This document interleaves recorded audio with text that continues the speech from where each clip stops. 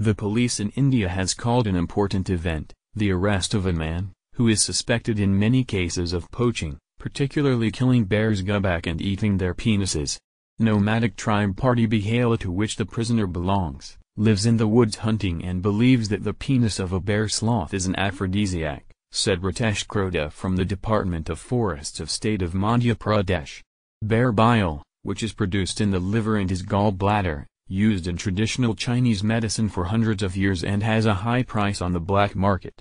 We have created a special team to trace and arrest him. It was our longest pursuit, it lasted for six years, said Mr. Sirota, who heads a special unit of the Forest Department.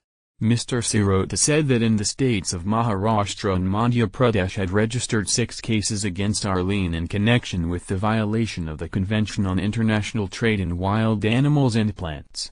Three cases relate to the poaching against the tigers. The Indian government says it is working to provide alternative livelihood of the tribes, but many people continue to live in extreme poverty. Allen was first arrested in 2013 after police found two dead bears gubak of the Kanha National Park, in which there was no genitalia, and gallbladder.